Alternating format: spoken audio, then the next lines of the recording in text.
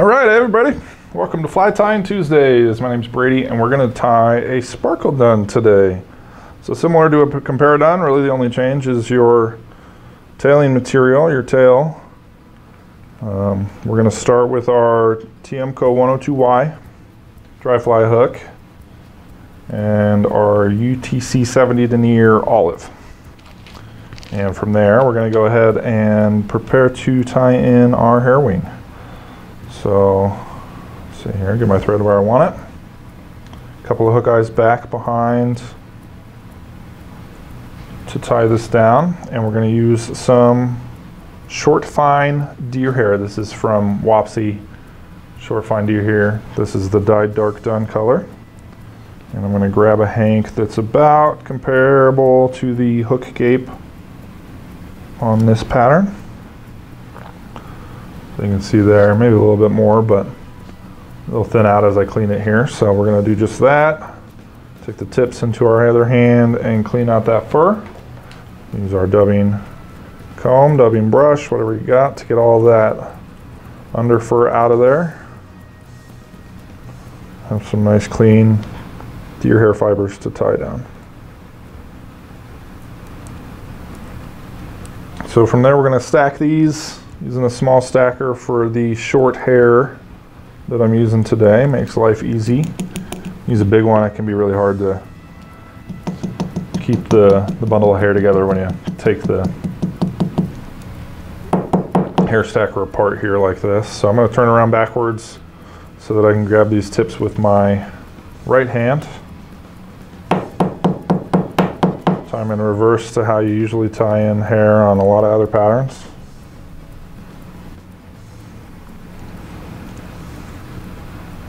Okay, so we got our tips nicely aligned there, like you can see. I'm, I'm going to pull it out with my right hand because that's how I'm going to tie it in. So you don't have to transition on. Helps keep these tips aligned there. Everything else you typically take out with your left hand when you're tying them in rearward. But I'm going to use my hook shank to measure how long I want my wing to be. And we will take that measurement right up to the front here. And do a couple of loose wraps to capture all of that hair. And spin my thread rearward so that it'll, or counterclockwise so that it wraps rearward here for me.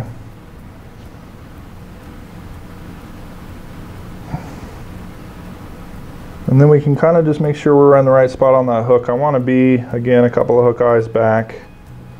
And we can go ahead and secure the hair to the hook with some nice snug, snug wraps here. And we'll work our way back a little bit, keeping that all in place. Just like so. And we can come up and under and clip out that excess material, get as close as we can without clipping that thread. And if you cut it kind of at an angle, it'll help you transition here. I always like to come in and kind of thin it out as well. These doctors, I'm using these Dr. Slick razor scissors. I haven't featured them really in any video so far. Let's uh, but you can see they're the arrow point, but they're still the razor scissors, and so they're adjustable. These are by far my favorite scissors. Super fine detail work, super sharp.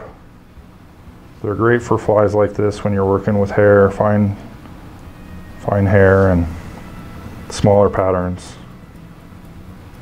Just a great product from Dr. Slick. So I'm going to go ahead and work on back starting to create a taper to this body, kind of snugging down that deer hair to try and minimize the bump that we got going on here. Like so, gradually on back. So now we're going to use our tailing material. So this is where it's different than a traditional comparadun. This one we're going to use some Sparkle Emerger yarn. I'm using a light olive color today. And I'm going to grab six or eight of these fibers just like so. And basically, this is going to be imitating a trailing shuck on, a, on an emerging mayfly. So maybe they're not full swing, maybe they're still just kind of coming off the surface and stuck in the film. Still shedding that shuck from their emerging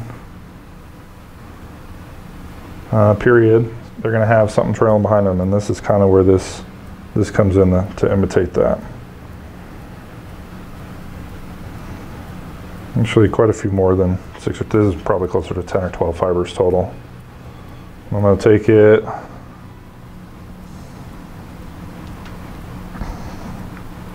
And tie it on in. I always like to tie it in long and then I can kind of pull it back to where I want it to rest and you sort of use this material to also help graduate that taper of the fly. So we'll tie it in so that it's hanging right out the back. Now that we have the tail secured or the trailing shuck, we're going to kind of measure it out and clip it about the length of the body. You can go a little long not too crucial. And then I always like to kind of come in and just taper it a little bit, feather it, whatever term you like. I just don't like it to be all that even and straight, just a nice little trailing shuck there. From there, we can start to dub our body. And for this, I'm gonna use just some super fine dubbing in straight olive today. So this is kind of a nice BWO imitation tie this in many different mayfly colors. Um, really the sky's the limit, for that hook point.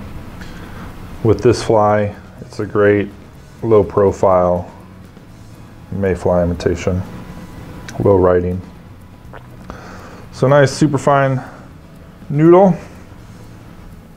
Super fine is great because it's easy to make a noodle. It stays so taut that it's hard for water to penetrate helps to make the fly stay buoyant longer.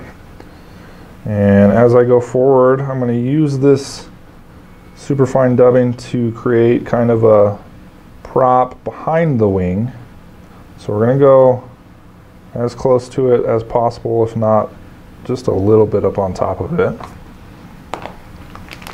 Because then we'll wrap in front and it'll help it from laying back. We want it to lay, or we want it to be propped pretty much straight up in the air when we're done here.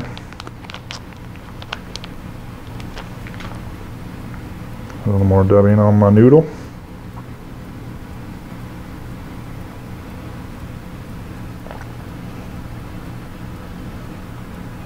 So once we're kind of happy with behind, you pull all those hair fibers rearward on top of that prop. And we're going to sneak in front. And then I always like to check underneath. Many times in the past I haven't been paying attention to the bottom of my fly and if you're not careful you can leave kind of a gap from behind the hair to in front of the hair. So if you do like a figure eight wrap around it one time, it'll help ensure that you're covering up all that bare shank and thread wraps with the super, fly super fine dubbing as you want to. So again, we'll pull it all back, start to wrap kind of up on top of it, just check underneath.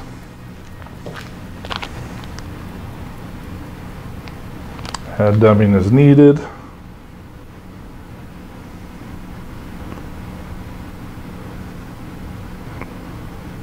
And then continue forward once we're done setting this wing in place.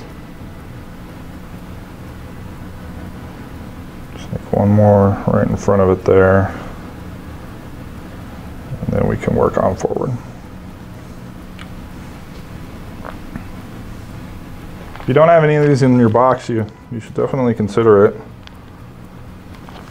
BWO, PMD, very effective. You could do some larger March Brown type stuff and some different color combinations for your application, whatever bug life you have.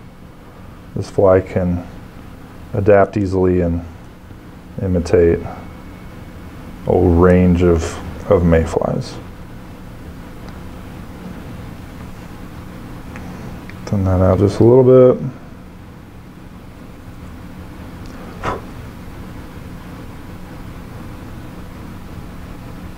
And we can go ahead and half, half hitch or uh, whip finish right behind the eye.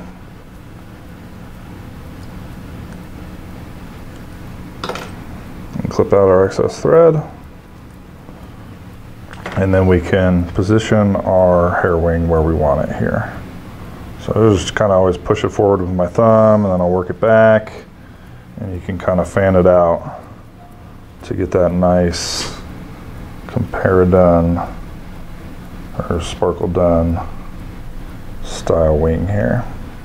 If you have any rogue fibers you can sneak in, clip those out. This, these arrow scissors make that a breeze or you can grab them with a pair of hackle pliers and yank them out as well. But there's a nice completed sparkle dun for you. Just a pretty, pretty simple and clean fly. It can be a little tricky to tie the first few times, but once you get the hang of it, it's not too difficult. And the effectiveness of it is pretty unbeatable, really. So tie up some sparkle duns.